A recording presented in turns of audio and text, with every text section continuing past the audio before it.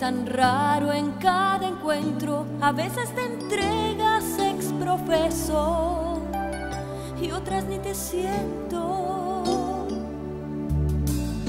Deformo mi tiempo al esperar una mínima señal de que estás.